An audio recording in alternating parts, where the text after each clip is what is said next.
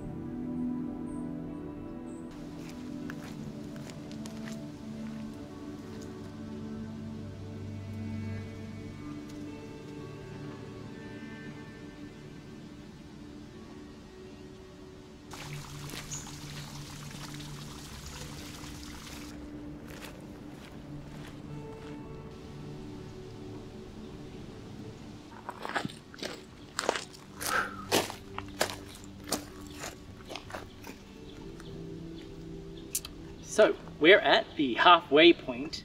It's taken me three and a half hours just to get here so far. Walking kind of slow because I'm filming as well, but we want to head that way, not that way. So let's go.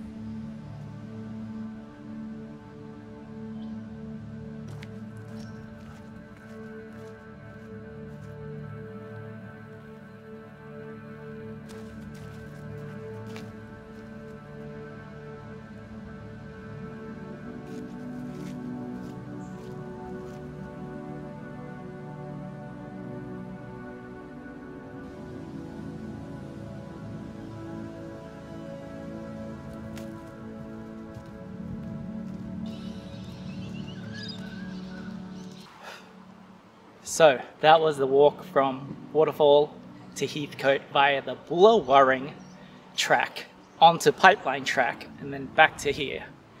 Anyways, as you could see, it was a beautiful walk with some notable highlights, one being Kingfisher Pool, definitely worth seeing. It's a surprise that more people haven't covered it in social media, but eh, too busy checking out all the tourist traps, right? Anyways, come check it out for yourself. It's a beautiful track. Rather long, took me five and a half hours to do with filming, so you might be quicker. Lost a CPL in the process, so that's a $100 down the toilet.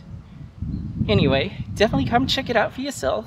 And as always, take care of yourself, take care of nature, and it'll take care of you. See you on the next one, beautiful people. Bye.